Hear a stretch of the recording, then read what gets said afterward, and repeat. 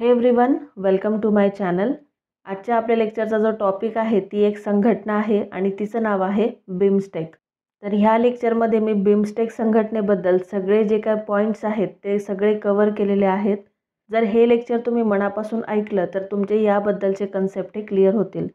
तर lecture start करण्याआधी सगळ्यांना विनंती आहे जर तुम्ही चॅनलला नवीन असाल तर प्लीज सबस्क्राईब करा आणि बेल बटनवर नक्की क्लिक करा जेणेकरून मी जेव्हाही नवीन व्हिडिओ घेऊन येईल तर त्याचं नोटिफिकेशन तुम्हाला मिळत राहील. चला तर मग सुरुवात करूया आजच्या टॉपिकला. सगळ्यात आधी आपण बघूया की बिमस्टेकचा फुल फॉर्म काय आहे.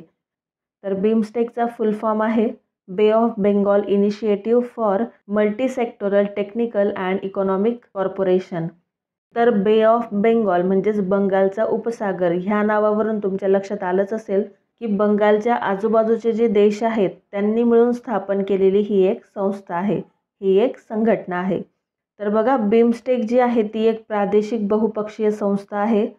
बिमस्टेक ही बंगालच्या उपसागराला लागून असलेल्या देशांची एक युती आहे.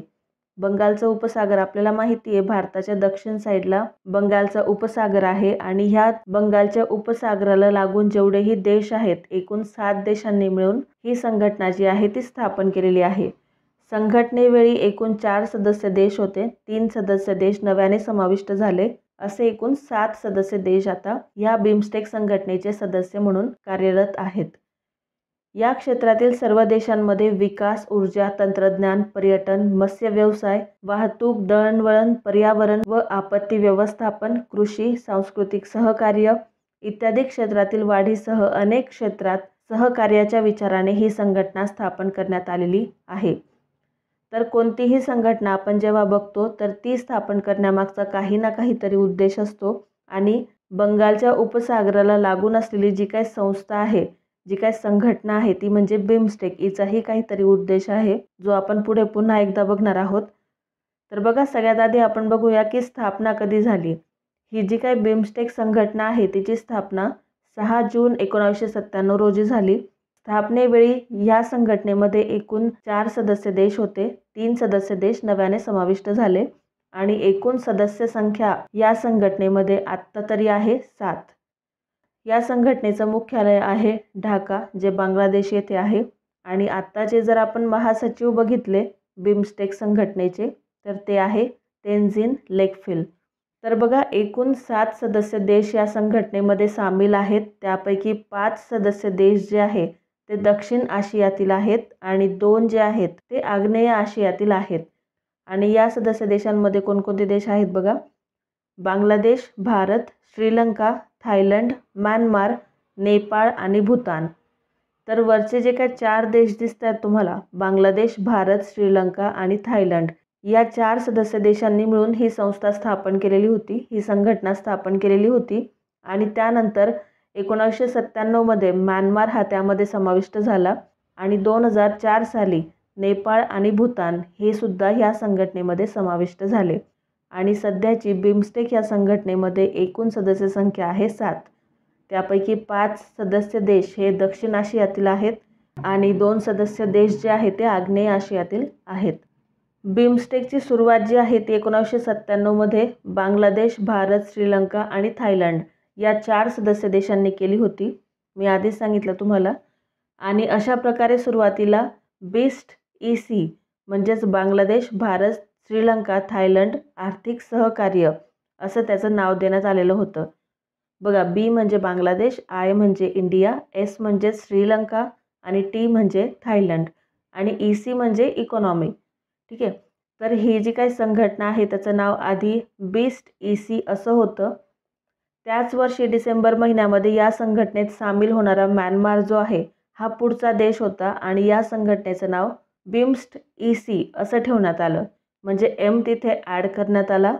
एम फॉर म्यानमार सन दोन हजार चारमध्ये नेपाळ आणि भूतान हे देशसुद्धा या संघटनेमध्ये सामील झाले आणि बिम्स्ट ई सी हे नाव बदलून बिम्स्टेक असं करण्यात आलं.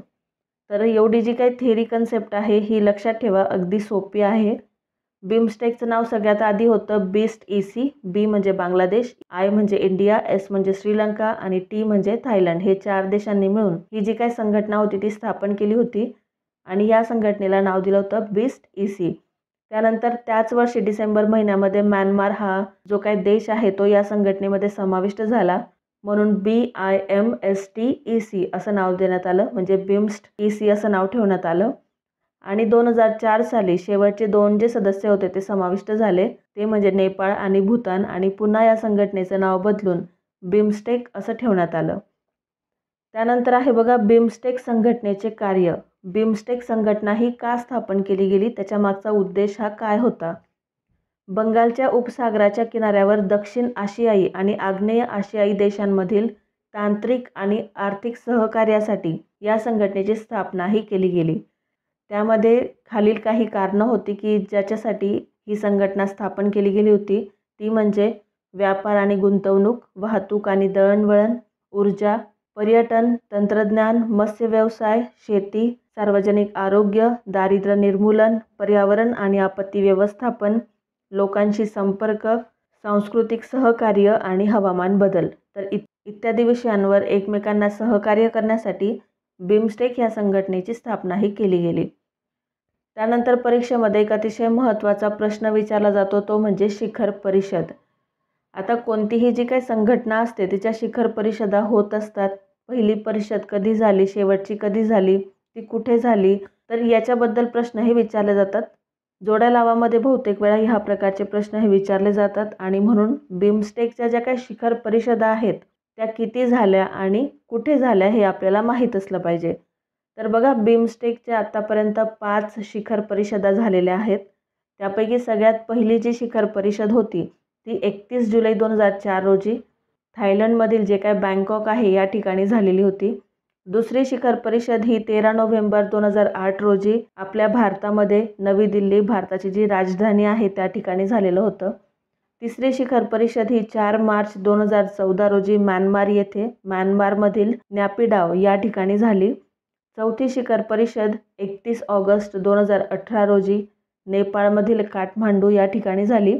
आणि पाचवी जी काय शिखर परिषद होती म्हणजे आत्ताची करंटली जी काय शिखर परिषद झाली ती तीस मार्च दोन हजार बावीस रोजी श्रीलंका या ठिकाणी घेण्यात आली. तर यामध्ये प्रश्न हे असे विचारले जातात तुम्हाला की शिखर परिषद आणि कुठे झाली? तर जोडाजुळवामध्ये ह्या प्रकारचे प्रश्न असतात किंवा आपल्या भारतामध्ये जर कोणती शिखर परिषद झाली असेल तर ती कितवी ते विचारलं जातं.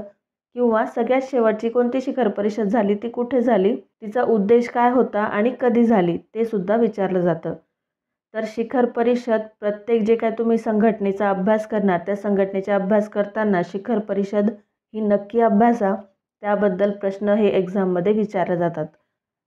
बिमस्टेकची पाचवी जी काय शिखर परिषद होती ती तीस मार्च दोन हजार बावीस रोजी कोलंबो येथे झाली. श्रीलंकेतील कोलंबो या ठिकाणी झाली. दोन हजार बावीसमध्ये बिमस्टेक शिखर परिषद मार्चमध्ये श्रीलंकेच्या डेमोक्रॅटिक सोशालिस्ट रिपब्लिकने आयोजित केलेल्या व्हर्च्युअल मोडमध्ये आयोजित करण्यात आली.